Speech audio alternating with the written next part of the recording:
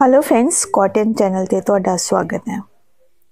ਬਹੁਤ ਹੀ ਖੂਬਸੂਰਤ ਵੀਡੀਓ ਲੈ ਕੇ ਹਾਜ਼ਰ ਹੋਈ ਹਾਂ ਜਿਸ ਇਹ ਵੀਡੀਓ ਅਗਰ ਤੁਸੀਂ ਦੇਖੋਗੇ ਤਾਂ ਇਸ ਸਰਦਾਰ ਬॉयਜ਼ ਨੂੰ ਡੈਡੀਕੇਟਡ ਵੀਡੀਓ ਹੈ ਜਿਸ ਤੁਸੀਂ ਦੇਖੋਗੇ ਸਰਦਾਰ ਬॉयਜ਼ ਟਰਬਨ ਵਾਲੇ ਸਰਦਾਰ ਮੁੰਡੇ with blazer suits with full coat pant suits ਇੰਨੇ ਸਟਾਈਲਿਸ਼ ਇੰਨੇ ਖੂਬਸੂਰਤ ਨਜ਼ਰ ਆ ਰਹੇ ਹੈ, ਜਿੰਨਾ ਮੈਂ ਕਹਿ ਸਕਾਂ ਉਹ ਬਹੁਤ ਘੱਟ। ਔਰ ਇਹ ਵੀਡੀਓ ਬਹੁਤ ਸਾਰੇ ਬॉयਜ਼ ਲਈ ਇਨਸਪੀਰੇਸ਼ਨ ਹੋ ਸਕਦਾ ਕਿਉਂਕਿ ਕਈ ਵਾਰ ਐਦਾਂ ਕਿ ਸਾਨੂੰ ਅਸੀਂ ਟਰਬਨ ਦਾ ਕਲਰ ਚੂਜ਼ ਕਰ ਲੈਂਦੇ ਹਾਂ, ਸੋਚ ਲੈਂਦੇ ਹਾਂ ਕਿ ਇਦਾਂ ਦੀ ਟਰਬਨ ਹੋਣੀ ਚਾਹੀਦੀ ਔਰ ਸਾਨੂੰ ਨਾਲ ਕੋਟ ਪੈਂਟ ਨਹੀਂ ਸਮਝ ਆਉਂਦਾ ਕੀ ਬਣਾਈਏ, ਕੀ ਪਾਈਏ।